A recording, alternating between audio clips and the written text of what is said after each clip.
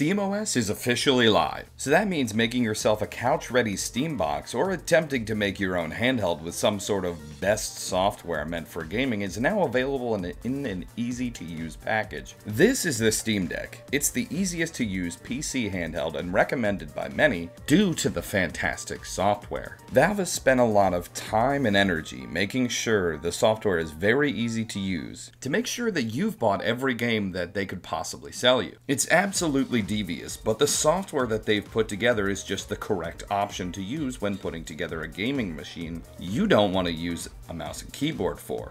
And this is exactly what I was looking to do with my tiny machine here. It's an AMD Ryzen 9800 X3D, an AMD Radeon 9070 XT with 16 gigs of VRAM, all set in a 3D printed exoskeleton. This thing will get a lot of gaming done in a tiny package. But what if its final fate was to sit next to my PS5 and make it look bad? And this is where SteamOS comes in.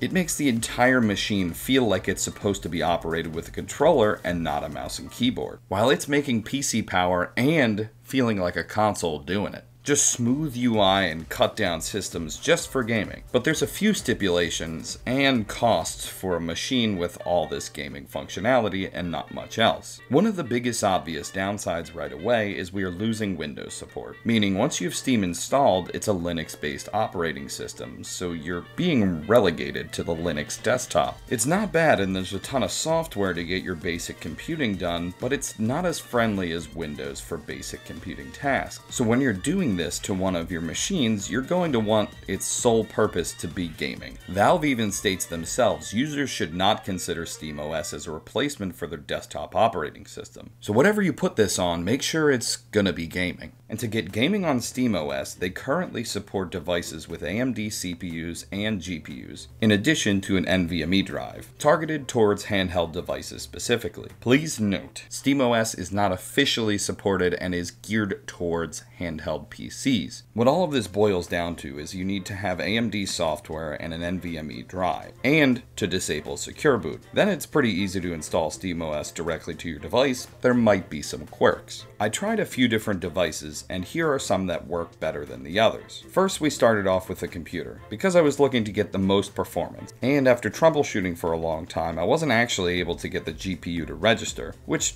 kind of makes sense. SteamOS wasn't really designed for discrete GPUs, but I tried it anyway. And it works, but it doesn't really work great. You're going to be wanting that beefy GPU to render those sick fast frames versus the integrated GPU on the 9800 X3D. It's just not what you're looking for, but it's kind of what SteamOS was designed to do. So it does work in desktop, but your mileage may vary. I'd stick to using Steam and Big Picture mode on Windows until support kind of catches up for this. But now we need to move to something else. This is the Lenovo Legion Go. It's a pretty decent Windows handheld with a lot of chunky controls on it, and I hate it, but I also love it. With Windows on it, it makes it a little bit slow because you need to run Windows and need to interact with it like a device would be running Windows. So you're going to have to touch things and use the mouse that's built in, and you're going to be booting a lot just to get directly into Steam or whatever gaming platform you're actually looking for, like Xbox Game Pass or streaming services. So why not go there directly? So if you're using the Legion Go for mostly Steam games, why not just put Steam on it? So that's exactly what I did. And wow,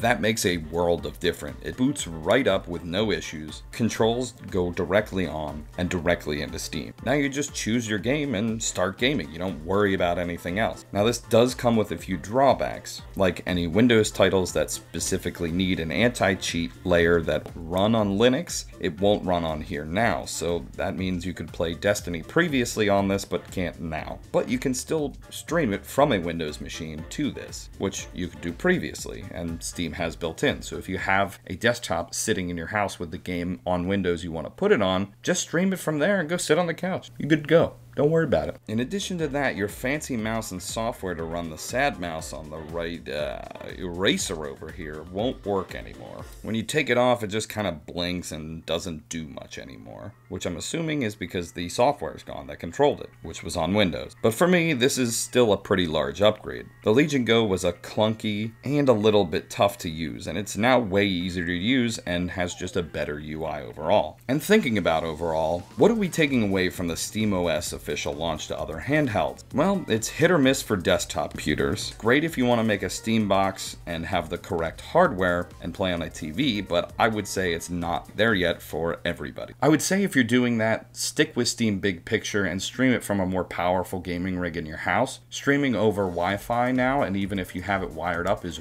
really nice, and I can barely tell the lag, especially on like first-person games, so I would stick with that for desktop computers, just for right now. But if we're talking about handhelds, this was really the secret sauce that all of the other handhelds were missing. SteamOS really just brings that official and easy to use software to a lot of different devices now, and they're supporting the second round of Legion Goes, the line of Asus ROG Allys, and really that's it for right now. Oh, and yeah, the regular Steam Deck, because it's just going to get Steam updates natively, so the Steam Deck keeps getting better over time, and it's now starting to ingrain itself in the rest of the handheld PC community. So let me know down below if you've tested any other Windows handhelds with SteamOS, and let me know if you're actually enjoying it, because I think even with few drawbacks it brings, using Linux really is the way to go for PC handheld gaming. And if you're interested in the giveaway, subscribe down below, because we're giving a handheld away every month, because they're filling my basement. All you have to do is subscribe, and we pick a random subscriber. Now I've got to go work on the Switch 2 review. Bye.